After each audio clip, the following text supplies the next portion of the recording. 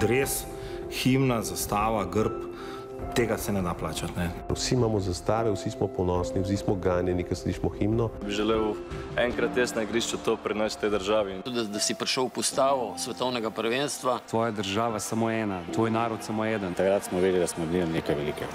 Zgodil se je nogomet.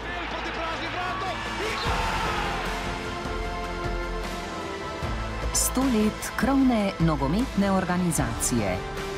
V soboto ob 20. na drugem.